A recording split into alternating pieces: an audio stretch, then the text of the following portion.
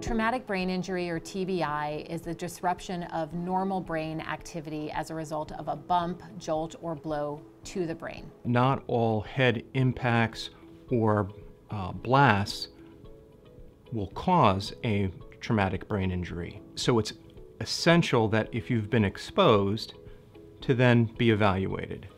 The other thing to note is there's a uh, severity continuum for traumatic brain injuries. On one end of the spectrum are concussions, which are also known as mild traumatic brain injuries, and then on the other spectrum, severe or, and also penetrating traumatic brain injuries. TBI can cause a wide variety of symptoms. They can include loss of consciousness, headache, nausea and vomiting, sometimes changes to vision, dizziness, loss of balance, and a variety of other behavioral health uh, symptoms as well.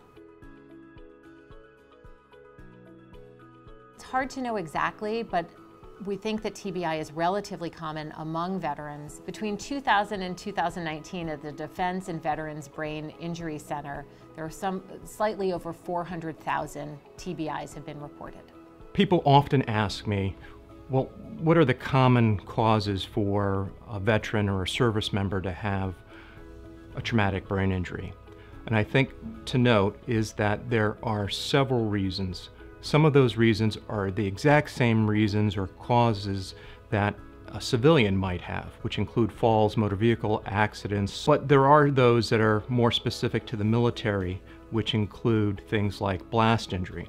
An important aspect to remember about blast injury is that the blast wave itself can cause a, uh, a problem.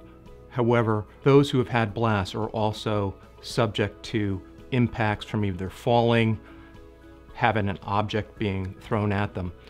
Uh, additionally, there are uh, environmental and occupational factors uh, such as the use of certain uh, weapon systems.